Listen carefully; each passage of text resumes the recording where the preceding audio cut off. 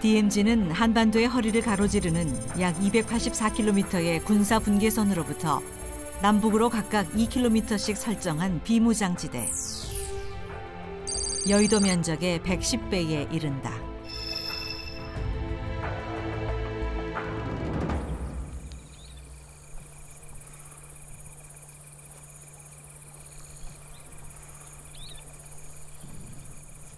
DMZ는 사냥을 비롯한 사향노루, 반달곰 등 6천 종 이상의 동식물이 서식하는 한반도 야생의 보고다.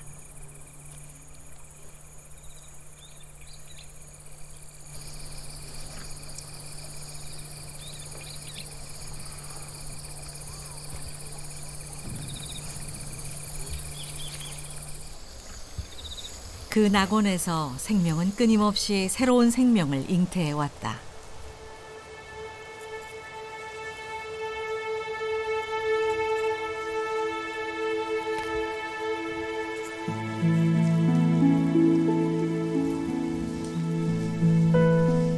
둔치의 풀숲에서 고라니가 새끼를 낳았다.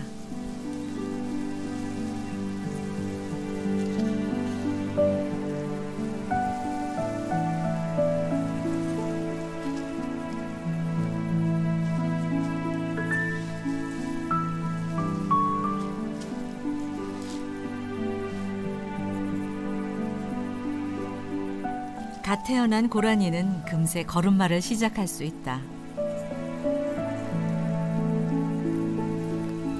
야생낙원 DMZ가 키워야 할 또 하나의 생명이다.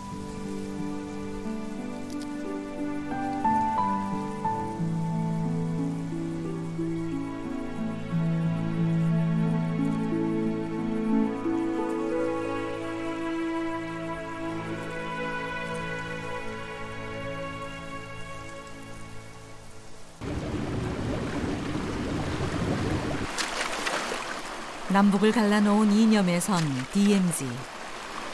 그러나 자연에게 넘지 못할 선은 없다.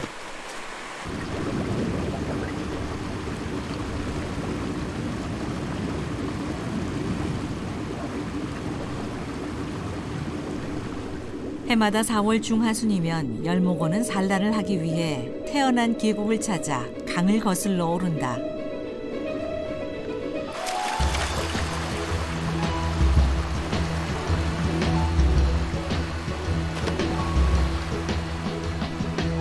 생명을 잇기 위한 비상.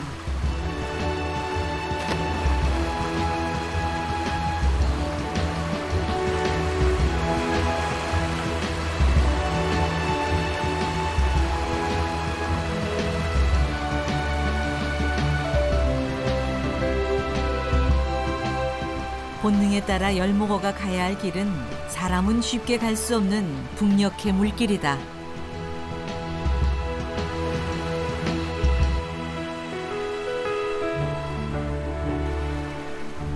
최전방 철책앞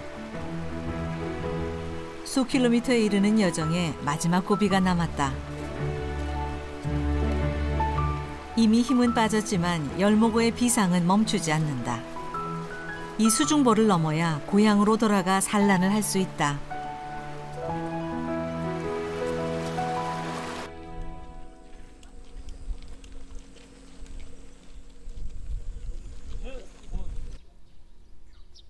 부화 후 한 달. 황조롱이 새끼들은 독립을 준비하고 있다. 한 어미에게서 태어났지만 삶의 속도까지 같진 않다.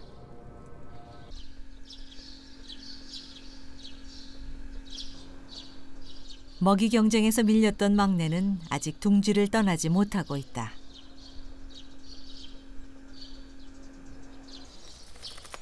원앙 어미는 부리로 아래 부하를 돕는다.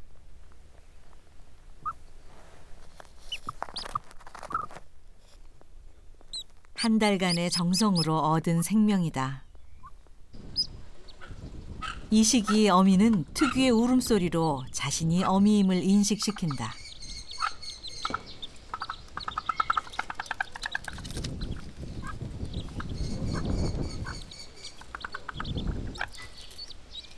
그리고 천적이 냄새를 맡고 접근하지 못하도록 알 껍질을 먹어치운다.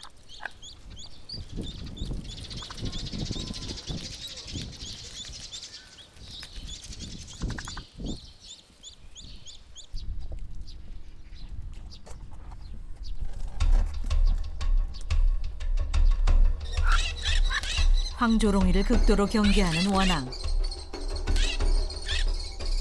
황조롱이는 소리 없이 접근한다.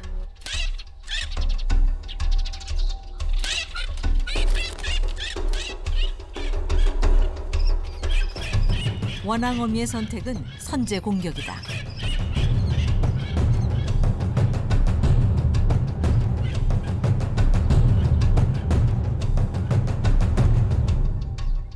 그러나 어미에겐 맹금류에 대항할 어떤 무기도 없다.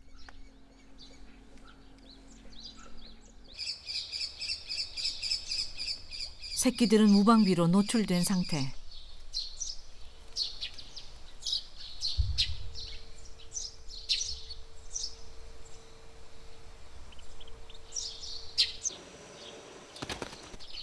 황조롱이는 사냥감 앞에 주저하지 않는다.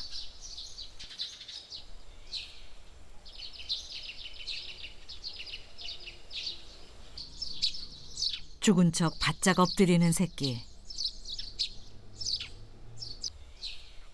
이 긴장을 깨는 건 원앙의 어미다. 자식 앞에서 어미는 두려울 게 없다.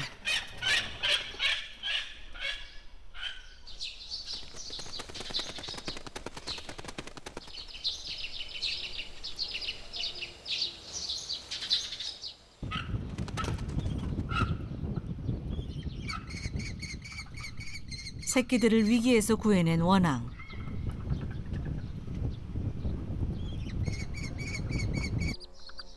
하지만 경계를 늦출 수는 없다.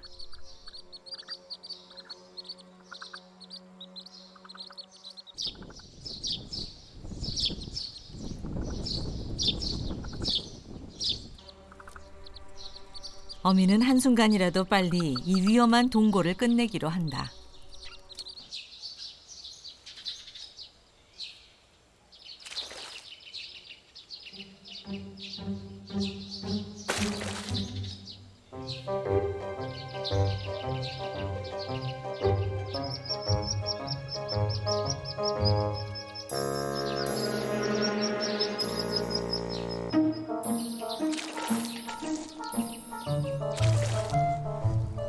부화 후 하루 정도 둥지에 머무는 습성을 포기한 것이다.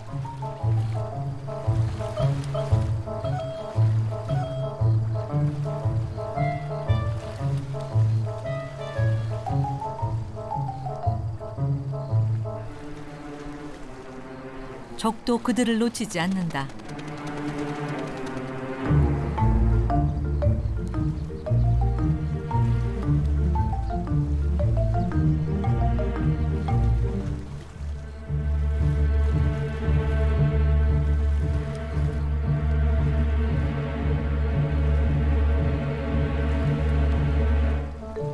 어미는 서둘러 새끼들을 물가로 피신시키는 데 성공한다.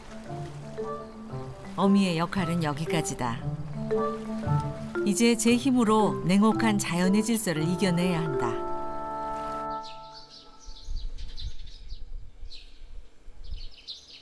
황조롱이 막내도 홀로 서기를 준비하고 있다. 막내가 향한 곳은 원앙의 둥지.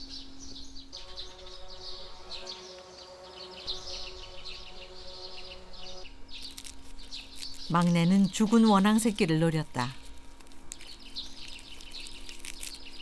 먹이 경쟁에서 줄곧 밀려 굶주려 있었던 막내.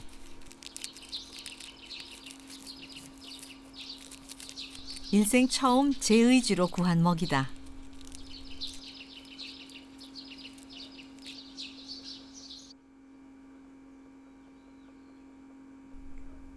이 모든 것은 비상을 위한 준비다.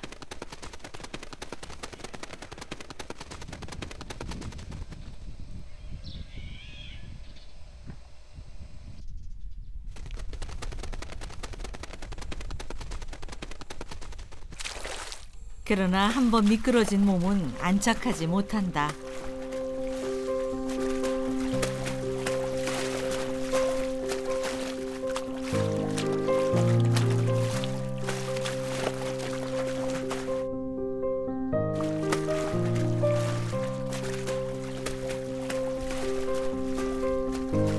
젖은 날개는 다시 힘을 쓰지 못한다.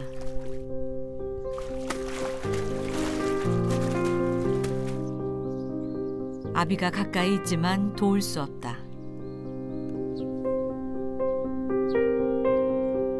어른의 깃털은 방수가 되지만 아직 어린 새끼의 깃털은 물에 젖으면 치명적이다.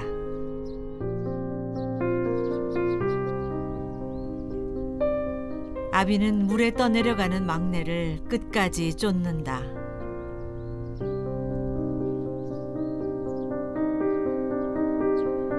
하지만 막내는 끝내 다시 날아오르지 못했다.